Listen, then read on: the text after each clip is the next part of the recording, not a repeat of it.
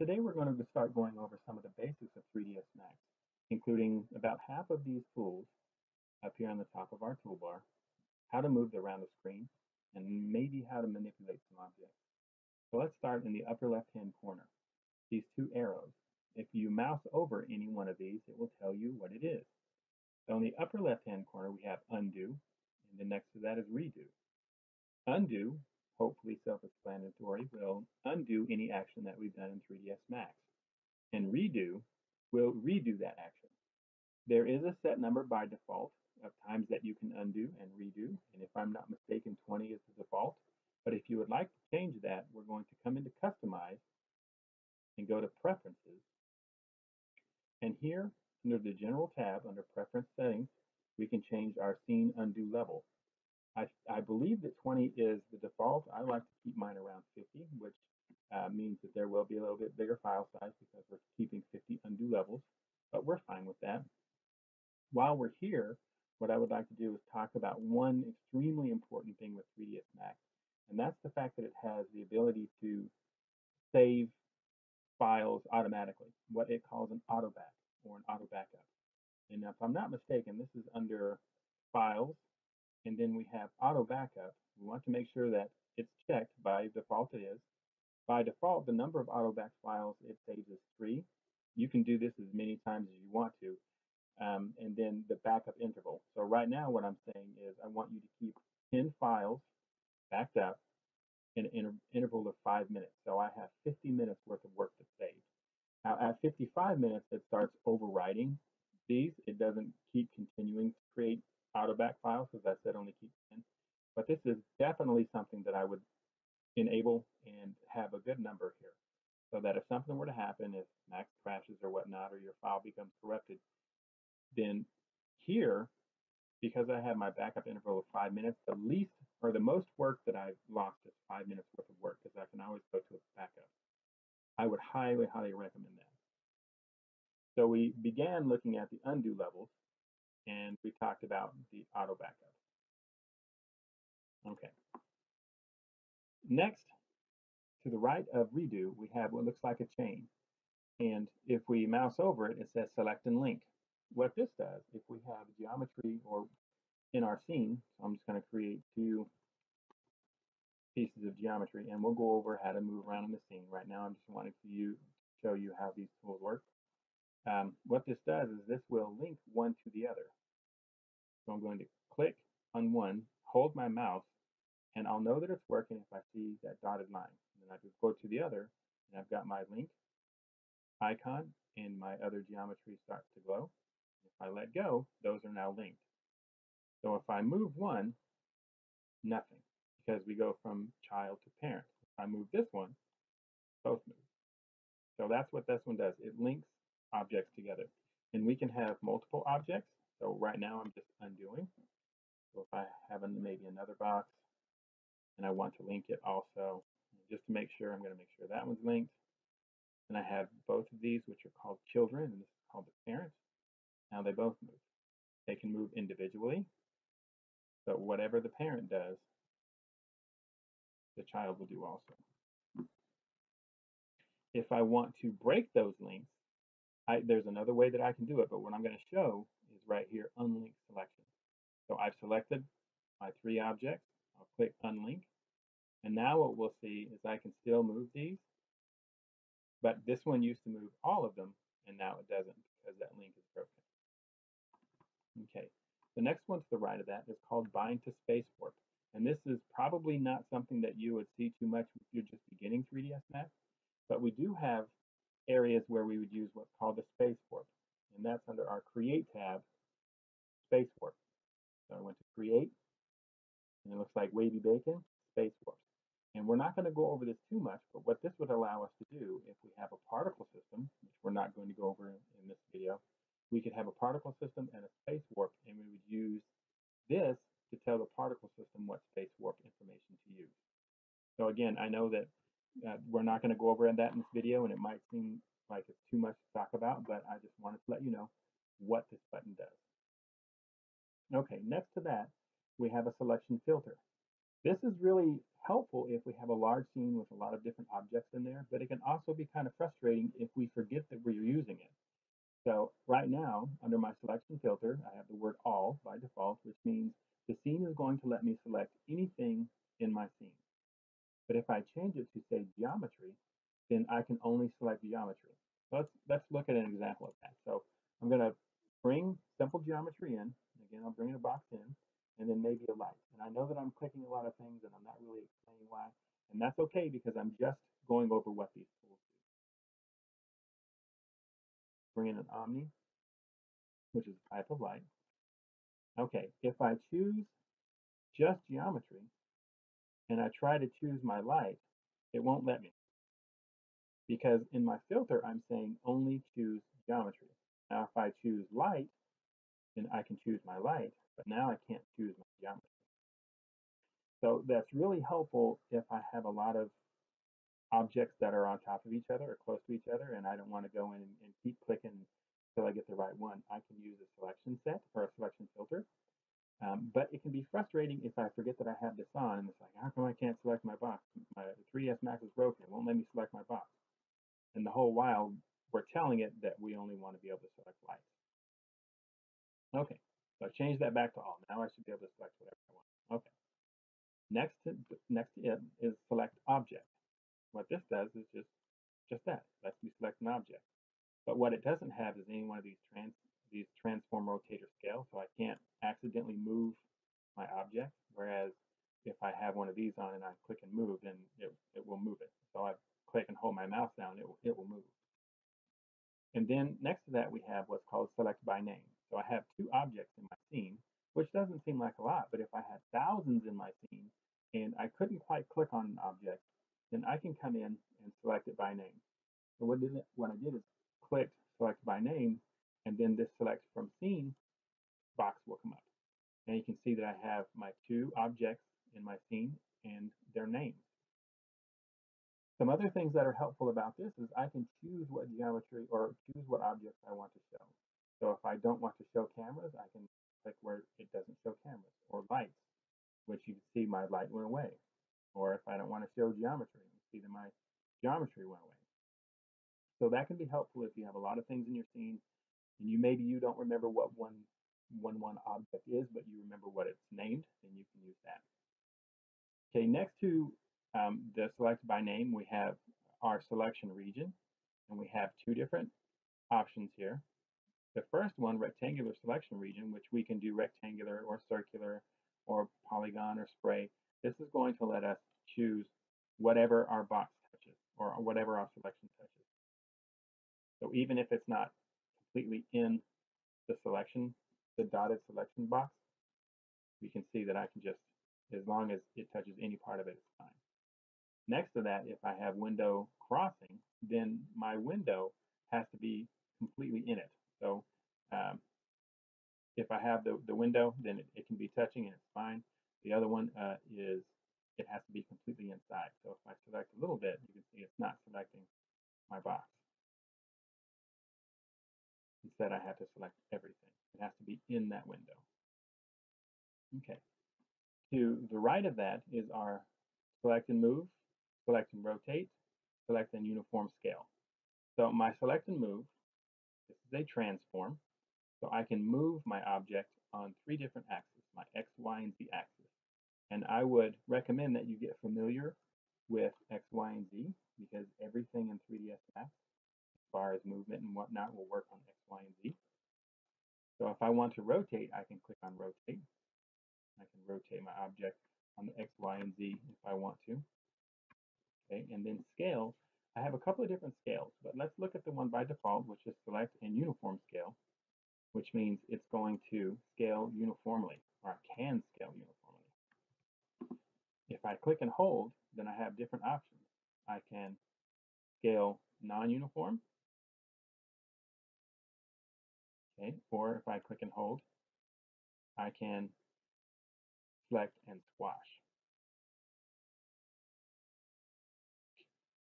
Okay. So we'll go back to default. The next button next to that is called select and place. And we have other options for that also, rotation and, and uh, transform, so for movement. What I'm going to do is create an object to show you how this works. I'm going to create a now the select and place, I can select an object, and when I mouse over another object, it will try to place the object on top of it, the first object. See I'm trying to touch that object. If I select the sphere, go to the square, it tries to do the same thing, tries to put it on top. Okay. This next box can be a little difficult if we don't understand how it works, but hopefully I'll be able to explain it enough that it won't be quite so menacing. Here on our reference coordinate system, this is going to basically what view we're going to use for our coordinate system. So as we can see right now with view, my z is facing straight up and my x and y are facing two different directions there. So we have y and x. I can change that with my reference by saying local. Now it doesn't look like it moved too much, but this is where the x, y, and z is actually local to the box itself. So if I rotate, then I go back, what we'll see is now my x, y, and z is pointing, z is pointing up towards the face, or the top face of the box, x and y to the side. If I change it to working, then again, it's kind of the, the x is facing upwards, or I'm sorry, z. Parent, if I had a link like we had here, where I had a parent and a child, then the XYZ would be dependent on the parent's location and not the child. So this is one of those things that you can play around with, try to get a better understanding of how they work. But this can be really helpful if I'm trying to move, for example, if I want to move my box in the direction that it's facing, then I can go to local and then I can move it in its direction instead of trying to, if I was in view and then trying to do it exactly the same using a combination of the Z and Y axis. Okay, next we have the use pivot point center, and we can change that to be whatever we want. And you can see that our transform, which is always located at our pivot, or in this instance, our transform coordinate center, is where our rotation, translation, and scale is going to be located. Like here we're using our pivot center, and here we can use our selection center, so the, the selection or the center of our selection. So if I had another box, it should be changed still if I have both of these selected. So we see that it's changed based on where both of them are. So we'll go, go ahead and take that back to the pivot center. The next button to the right is our select and manipulate. This really doesn't apply to anything unless we have what's called a, a manipulator on. So if I go to create, and I believe under helpers, and then go to manipulators, and let's do like a slider, and I'm going to come in and create a basic slider, value, whatever. Then I can't do anything with this object unless I have so I can manipulate on. And we know it's on because it's blue. Blue means it's active. And then here I can come in and change my manipulator. So we can't really do anything with manipulators unless that select and manipulate is on. Next button next to that is keyboard shortcut override toggle, which means that if we have a shortcut um, in the program and we have a shortcut that we use for our keyboard, the keyboard will overwrite the shortcut. So if I have some kind of shortcut here that lets me rotate or whatever, but I have a shortcut key that uh, is different. So instead of, um, I believe, E is my shortcut key for rotate, but if my rotate was something else on screen, then my keyboard would override it.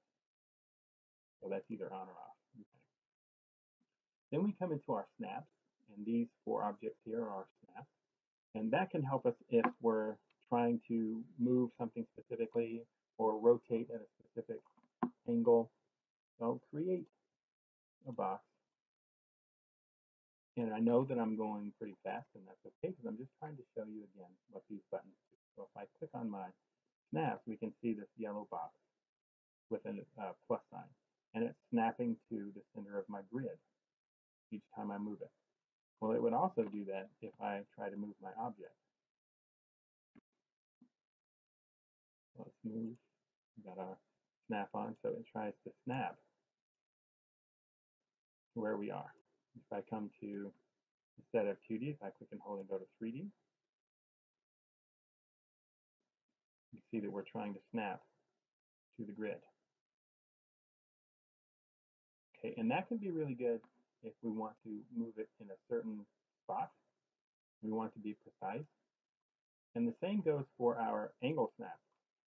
If we're wanting to move instead of with our angle snap off, if we rotate, we can see that we are, we can go, we can rotate in extremely small increments, but if we don't want to, if we want to be more precise, then we can click on our angle snap toggle, and now we're snapping by five degrees.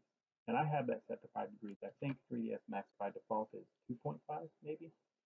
But we can change that. On any one of these, I can right click on the button. Now I've got my grid and snap settings. So my snaps, I can change uh, what we're using here. If I want to use a pivot or vertex or a face, there are options. If I want to, uh, my marker size, so the bigger this number, the more that uh, yellow plus sign will look my snap radius, which I'm uh, my angle percentage, which is what we have here. My angle percent is 5 degrees.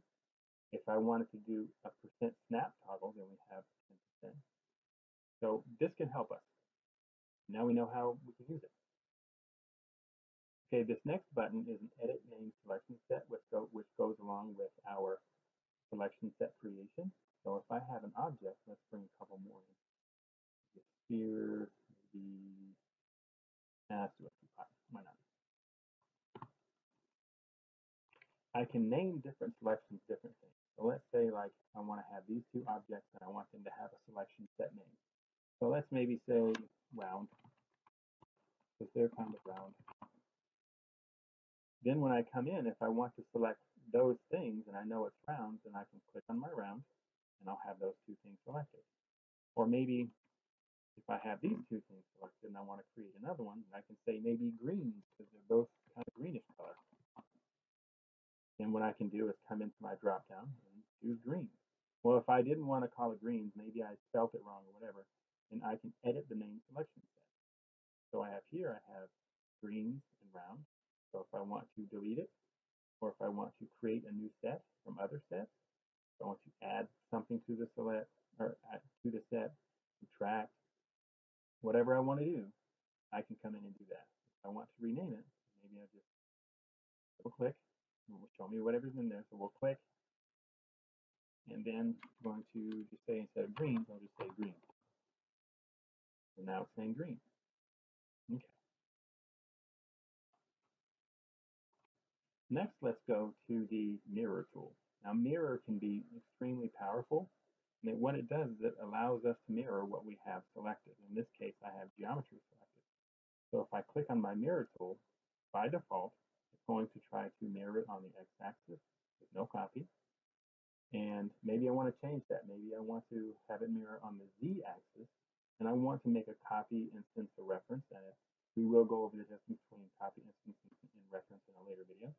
But if we wanted to do that, then we have a copy of our object mirrored on the z-axis. The next tool is our align tool. And this is really powerful in that it allows us to align one object to another. So I'm going to select an object, click align, and I can align by a lot of different things. I'm just going to show just how to align, basically. So click on an object, click align, click another object, and now we have our align selection. We can align by our X, Y, to Z position. If we don't want to align to one of these, we can uncheck it. And if I want to align the current object, which is the first one, that I picked by its pivot or its minimum or center or maximum target, same thing. If I want the orientation or rotation to be the same, and if I want the scale to be the same, I can do all of these. And I can apply it. Okay. And it aligned it. This is good if we want to align things like, I don't know, weapons to a character's hand. We can do that kind of thing. Okay. The next button is our toggle scene explorer, and this is something that is relatively new to 3ds Max in that it wasn't always there, and it's modeled off of uh, the same thing in Maya. And here I can explore everything in my scene, and I can choose whether or not it's frozen. So if it's frozen, cannot select it, you can't do anything with it.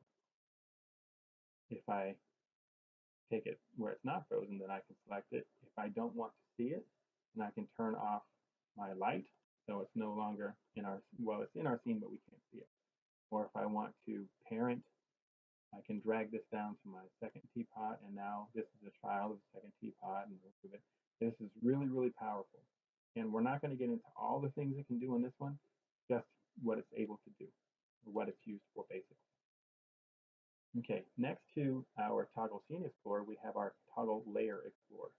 Now our layer explorer is a lot has been in Max a lot longer than the Scene Explorer. And what this allows us to do is create, to create layers and be able to add things to layers. So by default, we have a default layer. By default, everything goes to our default layer. If we want to create a new layer, we can create a new layer. You can name it whatever you want. And if I want to add things to this layer, I can. If I want to hide the entire layer, I can. Or if I want to freeze it, or if I want to make it so that it's not renderable, which means it won't show up in our renderer, do that. And if I want to display it, let me open this up so we can see what that says a little bit better.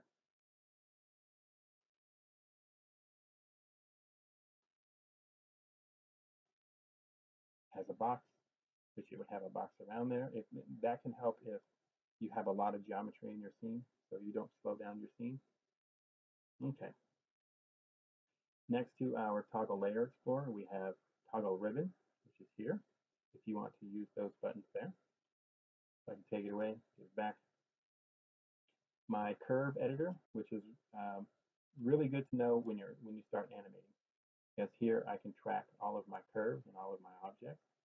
So let me show you what I mean by that. So I'm going to take this object and move it. Now I have a basic animation. Okay, but if I select that object and open my curve editor, now I can see that same animation represented in a graphical way. And I can manipulate all of these points to do things which we're not going to go over right now, but we will, will in later videos, especially when we start talking about basic animation.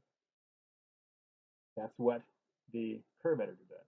Now, high or schematic view is um, what it allows us to do is see all of the objects in our scene and we can control hierarchy. It's really good to control hierarchy. So I'm able to create uh, parent and child relationships, um, hierarchy mode, and all the, you know, we can connect, we can break our links and everything like we did before. A lot of these tools are redundant and that's okay. The awesome thing about that it means is that there's not just one way to do things. There's several different ways. For an example, if I want to move this object, I can click on it, and by default, it'll have something, usually the transformer, the last one that you use. Um, there are several different ways I can get to this. If I want to move, I can click on the object and up in the our tools that we went over already, select and move. I can also right click on the object and I have move, rotate, scale, or there are shortcut keys. So W, E, and R. W for move, E to rotate, R for scale. So that's one really awesome thing about 3ds Max is that there are a lot of different ways to get the same effect. There's not just one way to do most anything. Okay, next to that we have our material editor, which by default 3ds Max will be in the slate material editor.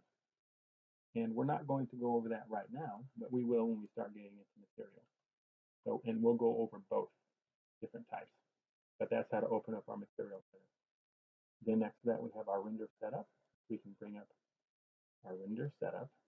And again, we won't go over that. This is just different things that we can do. We can assign different renderers. We can assign properties, our output size, where to save it to. Next to that, where we have our render setup, we have our rendered frame window. So that way we don't have anything set up, so we're not seeing it. So we need that tool, there it is. Then we have render production, or we also have um, see, production, iterative, and I believe this one is active shade, right. So these are, um, some will render faster than others, let's just put it that way. So, but by default, production is the one that is there. And then we have next to that, we have the render in Autodesk A360, which is um, not something that we use very much, but it's basically like cloud, cloud rendering. And then next to that, we have the 360 gallery, if you've saved those, or if you want to take a look at the gallery. And there's that. Okay, so what we've done is very, very, very, very, very briefly gone over all the icons and what they do. So let's talk about how to move around the screen. And this involves mainly your mouse. So if I click and hold my middle mouse button, I can move my scene around. This is called panning. Okay. If I click my middle mouse button and hold Alt, then I can rotate around my scene. And if I click and hold Alt, if my click my middle mouse button and hold it, click Alt and hold it and Control, and I can zoom. So my middle mouse button or middle mouse button and Control C, these are both, or Control are both pan. Middle mouse button and Alt is rotate. Middle mouse button, Alt, and Control is zoom. You can also use the view cube so if I want to go to the top, I can click on top, or if I want to click with my left mouse button and rotate around, I can. If I want to rotate, click on front, right, top. So we've gone over all of our icons at the top, how to move objects, how to rotate them, how to scale them, and how to move in our scene. I think that's pretty good for this one. So what I would suggest is to play around with these buttons and see what, what they do if we don't remember, see how they can work together, get comfortable with moving around in our scene, get comfortable with moving objects in our scene, and until then, have fun.